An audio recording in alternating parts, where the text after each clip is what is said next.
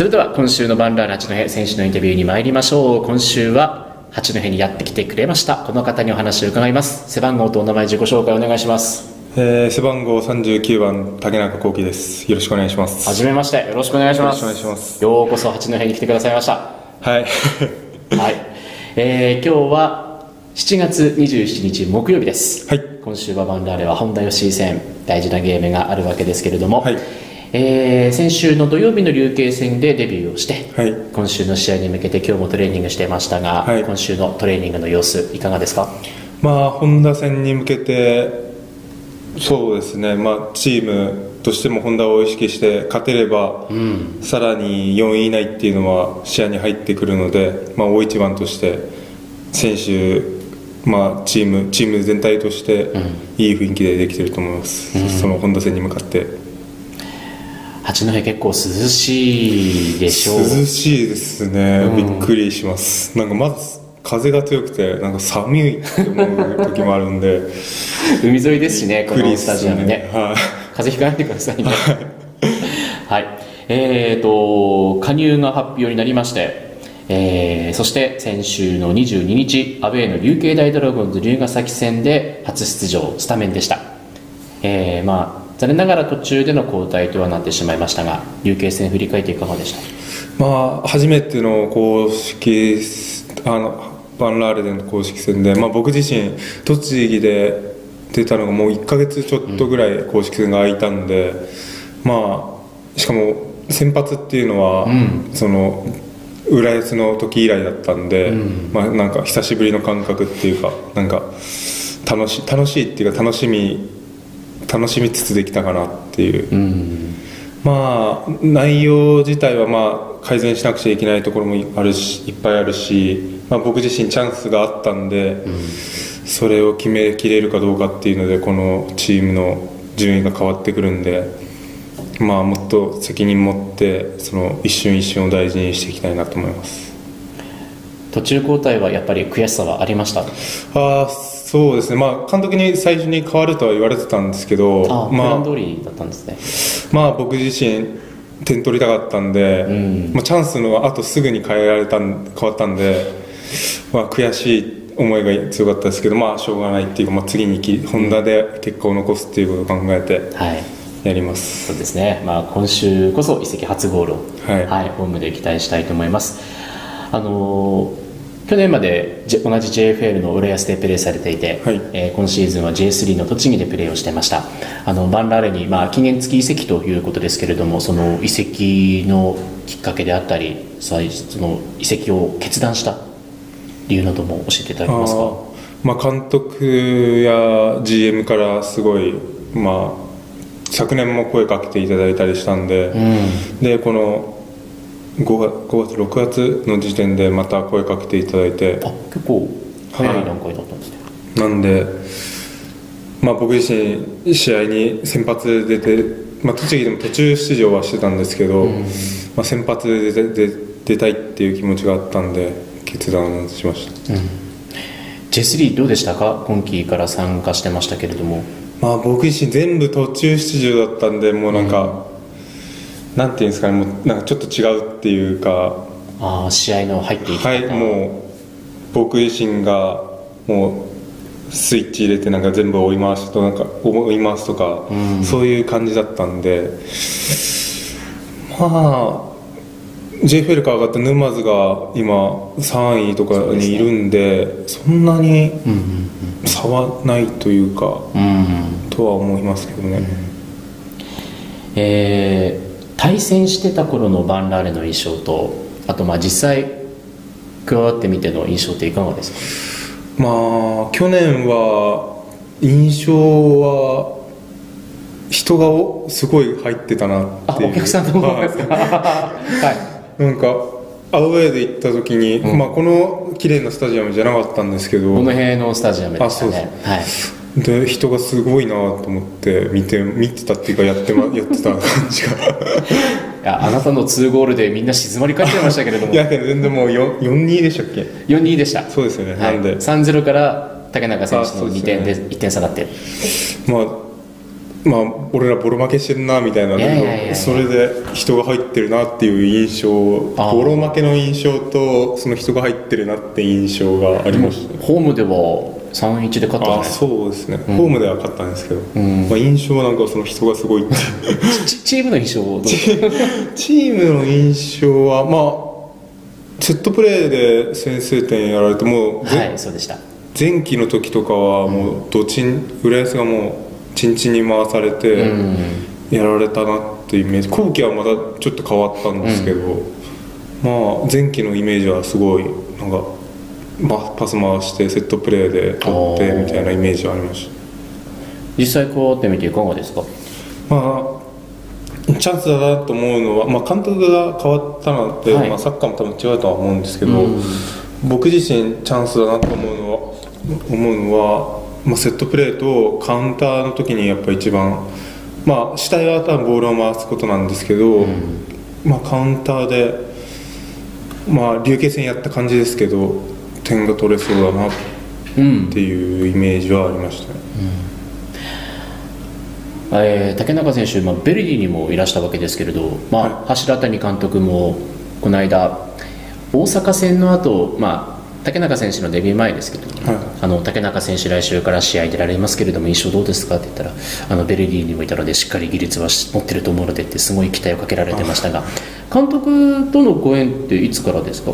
今バナレに来ることになってからですか？あー直接はそうですけど、まあ、いろんな共通の津波さんとかああそうですね。いろんな水戸でやってた選手とかも、まあ、で監督と話した時に僕のことを鳥取のの監督の時に気にかけてくれてたみたいなのが言ってたので去年ですね。まあそういうご縁でベルディらしいっていうので、まあそういったご縁はあります。監督の印象いかがですか？いやすごいなんか厳しいっていうか怖いっていう印象を抱いてたんですけどみんな最初そうです。はい、はい。すごいなんかチームの雰囲気大事にしたりうんするんでやっぱ全然印象が違ってなんかやりやすさっていうのうん。がありますね、バンラレの選手とはもうどうですか、まあ、1回試合もしましたしだいぶコミュニケーションとかは取れてきてますか？あそうですね。はい。だいぶみんなすごくな馴染ましてくれるっていうか早く溶け込めたんで、んそういうところはすごいやり入りやすかったです。まあ対戦してた選手はまあいっぱいいるでしょうけれどもなんかもともとし一緒にやったことある選手はいないかな？知り合いだった選手って。いや知り合いだった人もいは誰もいない、ああそうなんですね。まあ、共通の人はいますけああどそっかそっか、まあ、結構年近い選手も。あそうですね。同い年もいたり。多いですよね、はいこの中だと佐々木航選手とかが同学年っていう感じなんでしょうかね、そうですね。えー八戸暮らしまだ始まってに 2, 週間経ったかどうかかと思います。そんくらいですね。はい。あのまだ馴染む馴染まないも以前の問題かと思いますけどどうですか印象は？ああなんか思ったよりっていうかなんか栃木駅前は別としてなんか栃木と似てる感じがああそうですか。はい。しますね、なんで住みやすいというかまあ、変わらずみたいな感じですね、このダイハツスタジアムはまあ普段人工芝で練習してて、はい。まあ日曜日はこちらで試合するわけですけどこのスタジアムの印象いかがですか？いやすごいお客さんとも多分近いんで、うんすごい楽しみな印象ですね、うん。綺麗だし。えグリスタも綺麗ですよね。グリスタは？あれ？もう結構年季入ってます。ああ。なんかここで。まあ近とあの客とは近いんですけど、うん。ここでプレーする、はい。ここでゴール決めるイメージは？どうですか？そうですね。もうホームなんで僕が決めてうん。勝ちたいですね、えー今週の対戦相手はホンダ FC です。はい。えーもちろん今までも浦安時代で対戦したことのある相手、えー印象であったりあとは気をつけるポイントなどはどんなところがありますか？まあボール回しは本当にうまいんでもう粘りに粘ってもう1点取るみたいなことをして勝つしかないと思うんで、まあ、そこのワンチャンスをものにできるようにもう90分間集中してその1点にかけるっていうことだけを考えてやりたいと思います、なんとか先制したいところですね。そうですね、まあ、先制点取れればまあ守備も頑張守備陣も頑張ってくれて、うん。まあ勝ちに近づけるのかなっていう印象ですね。ご自身もようやくの今季初ゴールを決めたいところあそうですね。栃木で取れてないんで。すはい。取りたいですね。うん、焦りとかはあります？それはないですまあ栃木の時はずっと焦ってたんですけど、ん。まあ八戸来てまあ栃木とサッカーが違う中でまああの琉球戦でもチャンスがあったんでまあこれを続けられれば取れそうかなっていう感じではいますね、まあ焦っても栃木で学んだんでしょうがないっていうのを なんでまあ落ち着いてやろうかなと思います。えーバンラーレの竹中選手としてのプレーを、まあ、今週初めて見る方が多いと思いますけれども、はい。あのーどんなところに注目してほしいと思いますか？あそのシュートやっぱりシュートですね、ゴール前でのシュートに注目はしてほしい、まあ、それ以外でも、まあ、キープだったりっていうまあ一番はやっぱシュートですね。シうん。うんうんュートに、はい、点を取るっていうところに注目していただければと思います、ありました。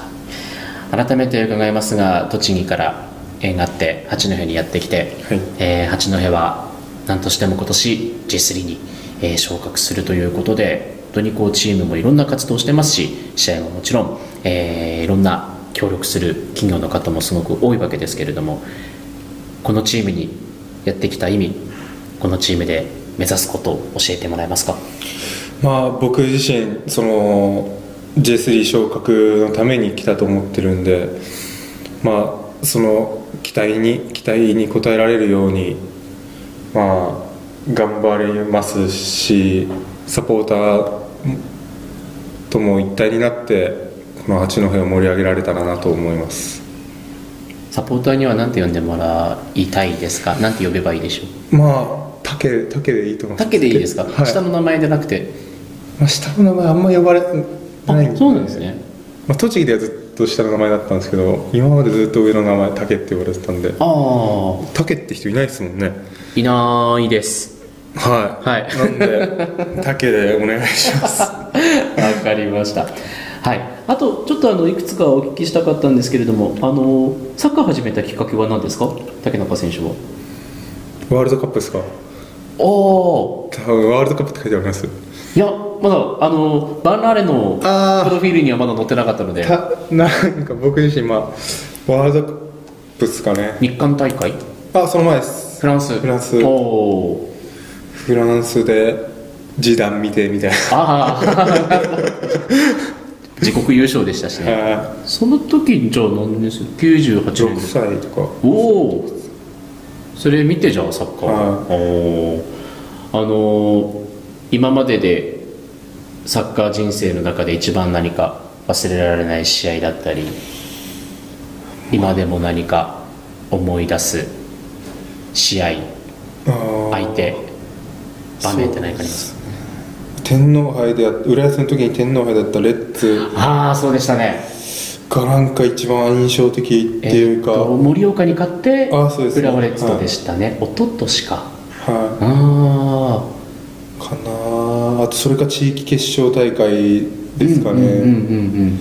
それが一番この時は浦安 SC でしたね。まだブリオベッカって名前があある天皇杯の時は。天皇杯はブリリオベッカでした。で地決はブリオベッカです。ああで天皇杯が浦安。浦安 SC あ、はい。そうでしたかそうでしたか。なるほど。はい。